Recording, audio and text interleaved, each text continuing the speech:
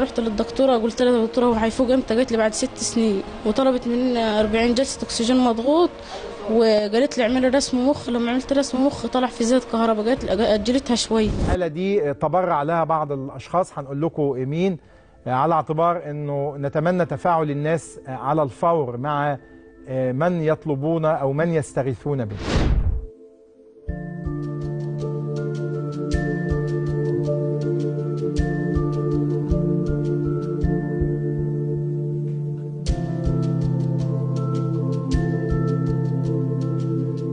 استجابة لمناشدة العاشرة مساء لحالة طفل يركض في غيبوبة منذ سقوطه في بئر مكشوف للكيماويات. قام أحد الأشخاص المتبرعين بتولي حالة الطفل وتم نقله لأحد المستشفيات لتلقي العلاج. خطوات إن في بعد كده طبعا بتعمل مجموعة أبحاث مبدئية للاطمئنان ان الحالة هتستفيد من العلاج بالاكسجين المضغوط آه بعد كده على طول بدايه على طول جلسة إن شاء الله وهي مجموعة جلسات.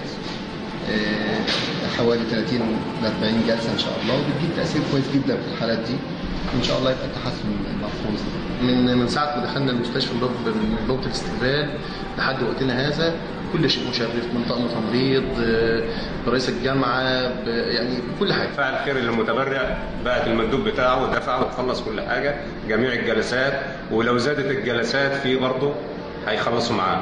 فبنشكر المتبرع وربنا يجعله في ميزان حسناته